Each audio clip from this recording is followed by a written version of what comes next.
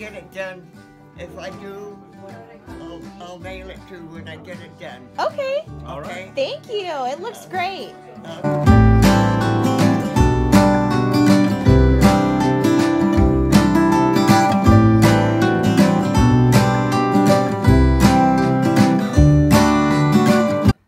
When I was born, I was born in up at Seaside, up there on the other side of Ten Mile, Uh huh. And uh, had a midwife delivered me, and I was on a in a great big house, two-story house out on the bluff, Right.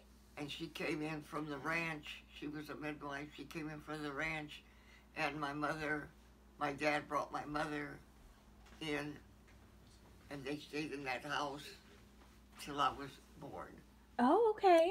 So So you were born here, but your parents were born in Italy, right? yeah, yeah, both of them born in Italy. I went to uh, when I went to Italy. I went to I found my mother's house, and I found the church that she went to, but I never did find my dad's. Gotcha. I couldn't find him. How did you and Nonno meet? Let me think. Well, I was going to the skating ring. he was in the CC camp, well, at the camp that they have for uh, to make parks that the president started during the war. Uh, not during the war, but during the depression, and uh, I met him there and started. Well, started looking at each other and finally started going back together, going together, and we dated for about uh, oh six months, and then we got married. How did he ask you to marry him? He just says we're going to get married.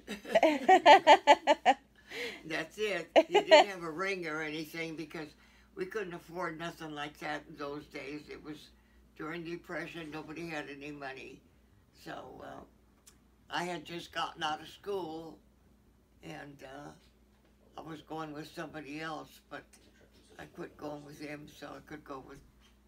No, no. Day did you get married?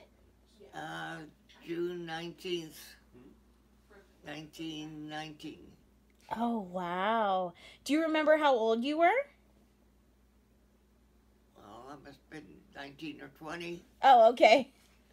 That's cool. Did you have did you have a wedding dress or did you guys just get a little I had- ceremony? I had a dress from the first new dress I ever got oh, from wow. the, this little dress shop, and it cost me about three dollars. Three dollars? yeah, during those days we couldn't afford anything else. Right. I wore hand-me-downs most of my life, and then when I got old enough, I made my own clothes. And after that, when I got married, I was able to get a new dress. Oh, that's awesome. thirteen dollars. I mean, three, Three dollars? Uh, and I thought that was really good. Right. And my mother fixed a big dinner, ravioli, and everything good This was on your wedding night? on my wedding day. And I got married in the judge's house. I didn't even have a wedding. Oh. Well, we couldn't afford those, those things. right. So, Right. but it was good enough for us. So, That's no awesome. honeymoon though. No honeymoon either? No, no. Didn't even know what a honeymoon was. Nani, did they have did they have prom when you were in high school? Did I what? Did you go to the prom? Oh yeah. What was that like? It was fun, but you know, in those days, they didn't have dates. The girls went by themselves and the boys went by themselves. And then we just met all up there. Oh, okay. Did you go to Fort Bragg High School?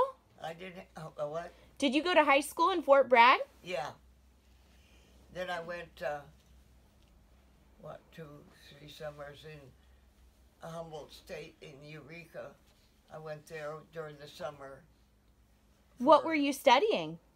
I wanted to be. Where was I staying? What were you studying? Oh, for I wanted to be a third grade teacher. Did you ever do that? no, I finally quit because it was just too hard. I during during the when Bob was going to school yet, and I'd go to Ukiah twice a week for classes, and then I went up there to I think it was three three summers. My girlfriend went with me. uh, She was a teacher already. And then it was just too hard, so I fin- I quit. Right. I decided I just didn't want to do it. So then I started volunteering to do this and do that. So I volunteer for quite a few things. I volunteered at the senior center, at uh, the nursing home, uh, the food bank, the food kitchen, Okay, well, And, uh, a medical thing at the hospital, and just I know, every, well, everything I could do. Then I was a den mother for scouts, and dad was a Yeah, scoutmaster. was too busy. So we kept busy, and then uh, I got in Okay, love you, 19, uh, 1994, was it? I think it was. I have to look and see. But uh, I got I know was- Volunteer of the Year award for. Fort Bragg.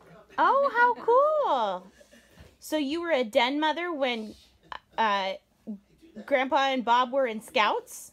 The what? You, your your sons they were in scouts and you were the den mother? Yeah. Did you like did. that? I was a den mother for Cub Scouts. That's cool. And that I did that for what four years, and then uh, Nonno was uh, a scoutmaster. He used to take them out hunt, uh, camping, and went to uh, summer camp with them. It was really it was it was a lot of fun. And we used to go out. We to get to the scout camp. We have to go on the train that goes to Willits. We used to go on that to get out there. Uh,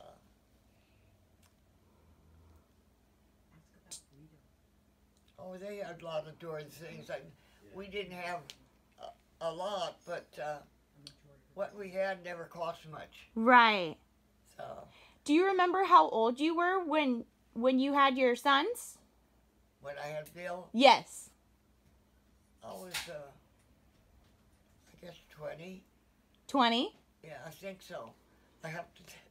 I can't really remember that like that, but I think it was. Take 'em down. Yeah, see, I was thinking. Ready? See, you guys are a team. Uh, I got it written down, but I can't remember. He was 19 or 20. Yes, you do. And then how much younger is Bob? He's uh, four years younger. 4 years younger? Yeah. So, you're pretty well known for your really big teapot collection. So what I did what? Your teapot collection. Well, that was kind of a. I didn't really start the collection. I just had, when I got married, they, they gave me a, a, a shower. Somebody brought me some teapots. And then this fellow that bought a house down on Franklin Street, there was some teapots there, so he gave me those. And I had them over the, a shelf over the sink. And uh, people would come over to the house to visit, and they see the teapot. So when they the teapot, so when they came back, they'd bring me a teapot. And then my brother lived in uh, Fremont. He'd go to garage sale, uh, flea markets, and he found some teapots there. When he came to Fort Bragg, he'd bring me teapots. So that's how the collection started. Do you know how many you have? Over 200. Over 200? Yeah. That's awesome. And your favorite is the silver abalone shell? Yeah, the one that Stephen brought me. Right. Yeah. Have you collected them from all kinds of places? Yeah, I got some. When a minister from my church went to Italy, he bought me one there, and my girlfriend when she went to uh, He built the garage, was it uh, built the, the washroom. I can't remember where she where she went, and she bought me one from there. I got three of them that they brought. Uh, oh, and Danny went to uh, That's, that's a, that's a neat house. not Ireland. Uh, Scotland?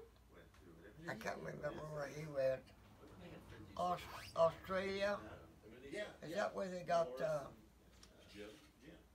kangaroos or something? Yes. Okay, he brought me one there. That's uh, Rochelle's uh, husband. Right. Right. We wanted you to tell the story of how you lost your finger. Oh, I, I tell that I told that story already, didn't I? Okay, I know, so- but- not on that. Okay, this girl, this girl and I were playing at this lady's house across the street from where my mother was visiting, and she told me not to go out of the yard, but I went anyway. And the lady where we went to uh, across the street wanted some wood in the house to put in the stove, so she said she'd give us a nickel, whoever brought the wood in.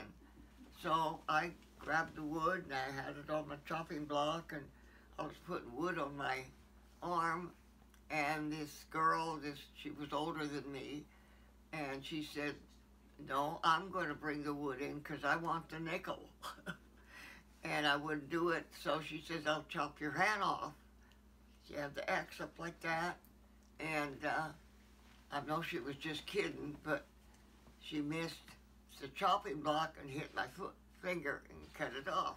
Oh no. And then she cut half of that, but the doctor sewed this one back on, but he didn't do a, he didn't fix it like he's supposed to, Right. and so that's the way it's crooked like that. So, and that's the story of my finger. How you lost your finger? I can still Did remember. she get in did she get in trouble? No, she didn't, but I did because I left the yard. Oh. Anyways, and my, uh, I, I remember when I was uh, in the doctor's office, and the doctor showed me he had a, a little dish there, and he had my finger in there. oh no. Was that scary? I can still remember that. So, and it, I didn't, uh, I never missed it though. It didn't bother me. It didn't bother Well, you? No, because probably didn't have sense enough to. Right. How old were you when that happened? I think I was three or four years old, something like that. Oh, okay. Yeah. When did you go to Italy? In uh, 97, Okay. 1997, Do you know what part of Italy? In uh, uh, Tuscany. Tuscany. Yeah. Okay. Where the Leaning Tower of Pisa is. Yes. Yeah, and I stayed a month there with my cousin and the family and my uh, my cousin's uh, son, my, would be my nephew. He took us all over, took me and uh, my girlfriend, my girlfriend, I, the two of us went together over there. So Oh, how awesome. It was, it was fun, and we went all over quite a few places. right. So Did you have authentic Italian pasta? the what? Did you have authentic Italian food? Is it different than it is here in the States? Oh, the. How was the food? They're mostly, you know, pastas and things like that. And they, I remember we went one time. They took me to a restaurant and they had pizza. And she, he thought that was great. Yes. And uh, come to find out, pizza was not uh, originated by the Italians. It was originated by the Chinese. Oh, I didn't know that. Yeah, that's what somebody told me. No, uh, that was not originated in Italy. So, but they sure did like it. I'm not. I'm not much of a pizza eater. No. What's No. your favorite food? I don't know. A little bit of everything, I guess. A little bit of everything? Yeah, because when I was raised, it was during the Depression. We didn't have. We ate mostly out of the garden. Everything was fresh out of the garden, and my mother had chickens. We had fresh eggs, and you had chicken, rabbit, and my dad always butchered. They butchered uh, beef and pork, and you know, uh, salted it down, and we that's what we ate during the year. So Your garden is impressive. I You have a very impressive garden outside. Oh yeah, Your tomatoes look amazing. yeah. Did you see them? I did. Yes, they are looking great. Yeah, boy, they sure taste good. Uh, Yes. Do you make your own sauces with them? Me and da- me and Dottie raised those. They look We really worked good. Together on them. Yeah. Well, we planted. We thought we planted zucchini too, but they turned out to be pumpkin. Oh, The, the, they put the wrong, the wrong uh, the wrong seeds in there. In there, yeah. And we kept waiting for the zucchini. And uh, anyway, when she went back in that store, she told them. They says, "Well, sometimes they do make mistakes." Learn your gardening from your mom and dad? What? Did you learn gardening from your mom and dad? Well, not really, because No. we didn't do any of the planting or anything. My my dad, but uh, whenever it was ready to pick things, then we had to. They picked them. I mean, he picked them, and we'd have buckets. My brother and I and my sister, and we'd have to bring them to the house. Oh, And he'd dig up like potatoes, and like if we want, like Saturday would be our day that we could do what we wanted, and we could go to the show, to the movies. But before we went, we had to do work on out in the garden and take care of that before we could go. But he did all the weeding and the spading and planting and everything. And my mother took care of the flowers and the herbs. Okay. And my dad took care of everything else. What movies do you remember? Do you remember going to see any movies in particular? Uh, not really, No. no. What did you like to do as a kid? What did we do? When you were growing up, what did you like to do for fun? You know, this place here was uh, next door. This was all woods in there. There was this house and another house up there and another one over there. But the rest of it was all woods, trees Uh-huh. and brush and stuff. Right. And we used to, my sister and I used to clear a place out in the, where the trees and things were, and we would uh, make like a little playhouse. Oh, okay. So you'd play outside a We'd lot? have- we'd have little boxes and and cans and things like that, like we were cooking. Right. my, and my brother, he was, he was a little hellion. He was, you couldn't hold him still for anything. He was always into trouble. But uh, he had a bicycle. He got, we did. My dad didn't buy it. He, my brother found parts here and parts there, and he put one together. And he would hide it so nobody could use it but him. And one day he was gone. He forgot to lock the door, so I took his bicycle and uh, I couldn't ride it, so I wrecked it. oh no. Was he mad? Uh, and I got in trouble for it. So then, not only that, I had one doll. While I was growing up, I got a doll, and he got mad because I broke his bicycle, so he broke my doll. oh, oh no. How many brothers and sisters do you have? You know what? How many brothers and sisters do you have? One brother and one sister. Are you the oldest? No, my brother was 11 months older than me. Oh, okay. and my sister was five years younger than me. Oh, okay. Yeah. She died. She was 24 when she died. Oh. And another story about me was uh, when we lived at uh, Camp One at 10 Mile, and uh, they had a chute where the logs used to go down to the river, Right. and uh, the ca- cabin where we lived was pretty close. So we used to play out in the yard. My mother wouldn't let us go out of the yard. And, uh, well, there was really no fence, but it was like a border thing. And my brother talked me into going with him to the chute that one day. And we got over there. And my brother says, hold on to me. I'm going to sit in the chute where the logs went down. and I, when he got in there and I was holding on to him and I heard my mother holler to call us and I got scared so I let go of him. He started down the chute to go into the thing and he got slivers all over his butt. Oh no! but that stopped him so then we both got spanked because we went out of the yard. Is this the house that you grew up in? The what? Is this the house that you grew up in? Did you grow up in this house? Not, not next door. Oh, you grew up next door. Yeah, from three years old I go. From we moved into town from camp.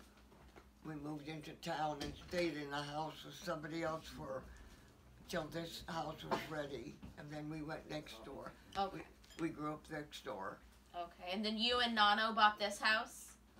Then we bought this. Yeah, it was during right after the war. The people that owned it, uh, they were all scattered, and some were dead. Some got killed at the war in the war, and uh, it stayed boarded up for quite a while because there was a like a cyclone, and they took off the roof, broke the windows, and it stayed that way. So then they had a sign on there. it was to be sold for taxes. So we uh, uh, sent a letter to Ukiah and then had Sacramento and found out that we could buy it, but we had to pay the back taxes and things on it. And it was a lot of rigmarole, but we finally got it. And then they, we worked on it. So, well, first, before we bought it, one of the girls that uh, her mother and father had it, uh, her and her husband and the kids came here from, they lived in Reno, Nevada, and uh, she, uh, they stayed here for about two or three months, but they kept the cold, the kids kept the cold all the time. She said that it was, this weather wasn't good for them, so they asked us if we wanted to buy it. And we paid for two lots in the house, we paid twenty-four hundred dollars. Wow. Wow. Five hundred for the house. You paid that for this house? Huh? You paid that for this house in the two lots? Oh, well, it wasn't like this. It was, you know, Right. but uh, we, Nonno ma- did most of the remodeling, him and my dad, Right. you know, but uh, that's what we paid for it. $2,500? Yeah, Oh, wow. yeah, It's worth a lot more these days. yeah. And then next door, we sold that house. That was when the houses were cheap then. We sold that one for uh, 25, 25,000, I think. Oh my gosh. Yeah. And if we'd have waited a few months, we could have got a lot more for it. And then the lady that came this morning, she, uh, I think she paid, oh, I don't know, over, over three thousand, thirty-five thousand. I forgot what she paid, but a lot more than what the other lady paid for it. Right. But we had to sell it because my brother wanted to buy a house over at the lakes, and uh, I had to give him his share. So we sold it, and then we bought the house over there where Bob lives for Bob and uh, Diane when they lived there. So So you have Bob and then Grandpa Bill. Do you have any other kids? huh? How many kids do you have? Just Bill and Bob. Okay, just those. Yeah. No daughters? No, no. I Did you ever want one? Dottie's my daughter. Oh, she's your daughter. Yeah. Yeah, you hit the uh, daughter-in-law jackpot on her. But You hit the jackpot on Grandma Dot. yeah, yeah, I did. Bill hit the jackpot. that he did. Yeah, he. Uh, I told him. I said, "You don't know how lucky you are." Well, it's it was your mom's, uh, your mom's, grandma's third marriage and his third marriage, and I said, "You know, they say the third Third time's the always charm. best. Yeah. So, The third time is the charm. yeah, that's right. And anyway, so I, they both are happy, and both of them, they, they, they just needed each other. They did. Mm-hmm. So they got married right here in your living room, right? The what? They got married right here in the living room, right? Yeah, right here, right down in front of that heater. So I heard that Nonno wanted to wear his overalls and you wanted him to wear a suit. The what? I heard that Nonno wanted to wear his overalls Yeah. and you wanted him to wear a suit. Well, I, wa- I wanted him to wear a certain thing. I can't remember what it was. And he was. He says, "Well, what what difference does it make? We're at home." He says, "So I can wear my my uh, the ones that he worked in all the time." But Right. clean. But we finally talked him into changing, Oh, and we had the uh, we had the party out in the garage because everybody didn't fit in the house. yeah.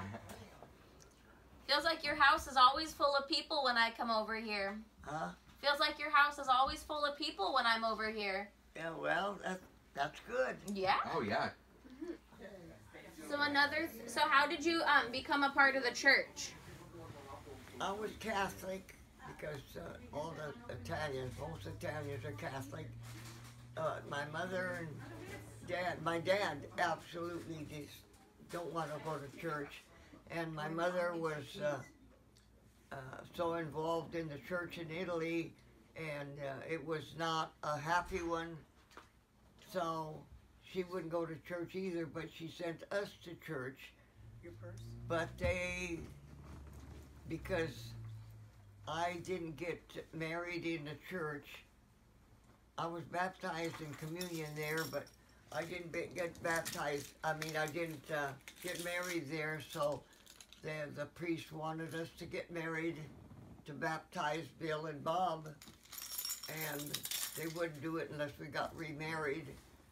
So I just told Bill and Bob, you find another church to go to that uh, you like, and we'll go to that church.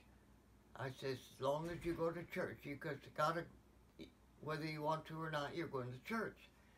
And so Bill was taking piano lessons from this lady, and she asked him if uh, I would care if he would sing in the choir because he had a nice voice.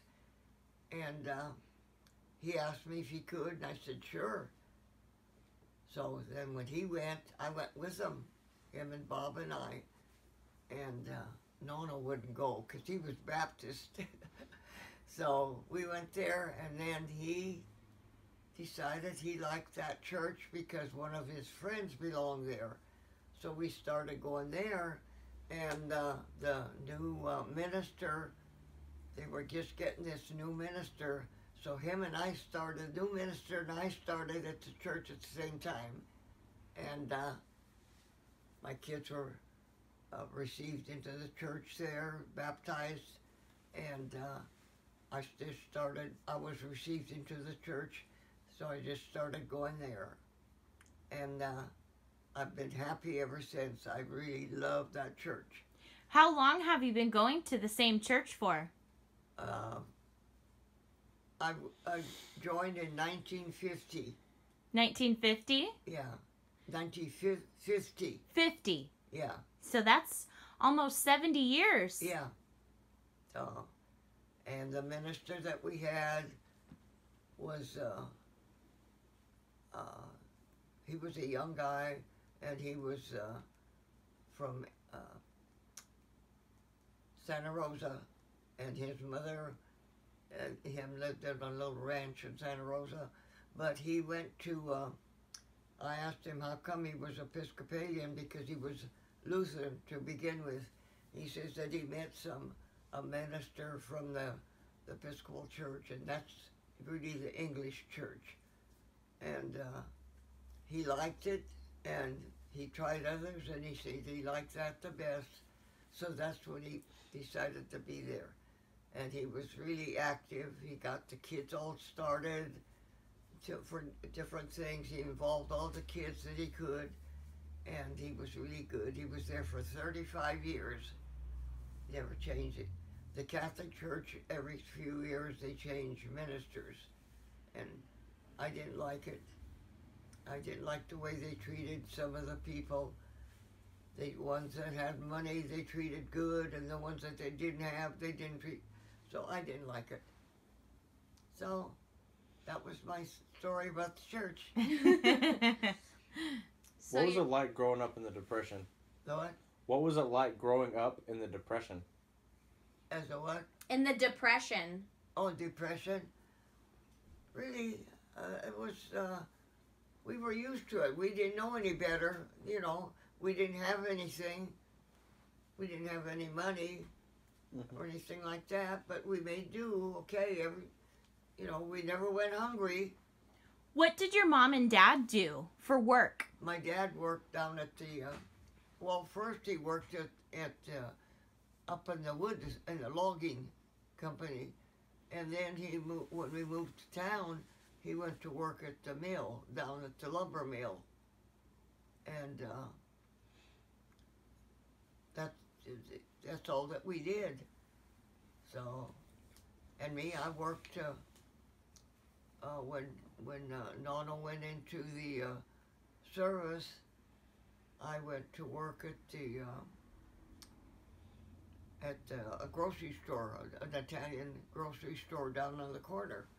I worked there for a few years, then I quit, and uh, I guess that's when I went to Italy.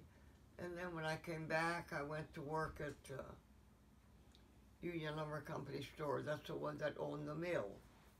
So, but the town has really changed since uh, since the mill closed down, and the fishing. There's no hardly no fishing as much as it used to be. So, it's more of a tourist town now than it is a logging town like it used to be. Right. So, Nani, you're now a great great grandmother. Did do you remember your grandparents and did you have great grandparents? I had them, but they were all in Italy. Okay, I didn't know any of them. All I knew was my cousins. got it. Yeah, because the rest of them all died. My mother had uh, two sisters, and I think two or three brothers. The Do- what? Did you know about the pea farm? No. Mom, one, a couple more things. You need to tell them about um, Guido. Oh, about oh, it's the time we left them at the library. well, is you, am I talking now to it? Yes. Okay, well, me and my girlfriend, we never had dates with people. We, and like a, a bunch of boys would get together and a bunch of girls would get together and we'd all visit. Well, we couldn't tell my mother and dad, you know, we couldn't tell our parents. We had to just tell them we were going to the library. and then we'd go meet them and go take a walk with them with the guys that we wa- liked. And uh, every time we went, her mother and dad, my girlfriend's mother and dad would say, "You got to take Guido with you." That was her brother, and so we'd take him and we'd stick him in the library, and tell him to wait there until we came back. Well, one night the library closed, and we had hadn't picked him up, so the librarian was standing out on the sidewalk with him, and really chewed us up because we hadn't picked him up and let him standing out there by himself. So we couldn't do that anymore. That was your friend's little brother? Yeah, So, Mom, instead of saying you had a boyfriend, what was the words that you used when you talked about your, you know, when you would say somebody was in love or they had a boyfriend, what you what did you used to call it? Who? When you when you like when you had somebody that you were that you liked Yeah. or you were in love with them, what did you call that? We didn't call them nothing. We just. we No, no, no, no. It was a name that you used to use when you would say somebody's got this about a boyfriend. I don't know what you mean, Don. Okay. Because you used to tell me, oh, hey, and you'd lift up your eyebrows. He has a case on him. Then I had a case on who? On whoever it was. That's how you used to tell me when. Well, we, we were just all mainly just friends, really. Like we had a ballpark down on the corner there where the movie theater is, and uh, lots of times we just moved moved down there, sit in the bleachers, and all of us just visit together. We didn't really have dates, you know, once in a while, but nobody ever like I would never go alone with a boy any place. We always there was always these two girls and and the guys, but uh, never never by ourselves. Never- Okay. So, um, did you tell them about about your first job when you were doing that um, in the factory or whatever it was? When I worked at the oh the frozen feed, No. Um. my first job was Yeah. picking picking peas. There we go. I couldn't think of it. Okay. Tell tell the You know, I, tell Maddie. oh the, the first job I had, I was still in school though. I pick, picked peas up at uh, on the other side of Ten Mile, and then the next job I had was uh, sorting peas. That they had a, a frozen Stokely's uh, frozen peas, and I worked there. Then I went to the uh, uh, fish house and worked there. I packed fish for the government, How much did you get paid? sixty-five cents an hour. no, let's see, sixty-five was at the pea plant, and the fish plant was a dollar. And then I got when I went to work at uh, the uh, Union Lumber Company was a dollar sixty-five an hour. So that was to How- me that was good. When you were little, did you like did you go buy candy or what did you spend your money on? I gave it to my mother and dad. Oh, I did, we never we never had money to spend for anything else. okay. The only thing I remember buying with money my mother bought it for me was a coat because I needed a coat. A coat. Yeah. Yeah, that's about it, huh? Yeah. Did you? And what about when you guys went dancing? Did you guys? Huh? Did you? Did you have uh, your dancing friends over when you got used to go dancing? Oh, we used to we went dancing not when I was young, no, but when we uh, uh, joined up different organizations. We joined. We be- belonged to a a party club. No, no, and I belonged to a party club.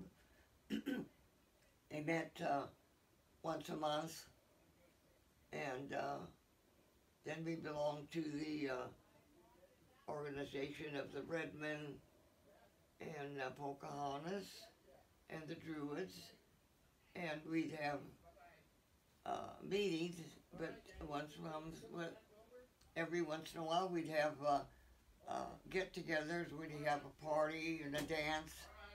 So we always had fun doing different things, Good deal. and we would travel like we would. When we oh when we went square dancing for a long time. We learned how to square dance. That's when Nonno first started dancing. He would never dance before. But when we started square dancing, and we used to go to different places to square dance. Do you think you can still square dance? What? Do you think you can still square dance? Not now.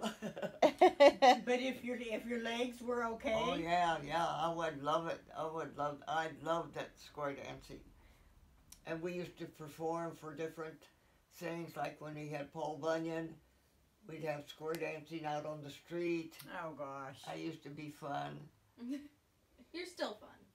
Nani, have you ever met anyone famous?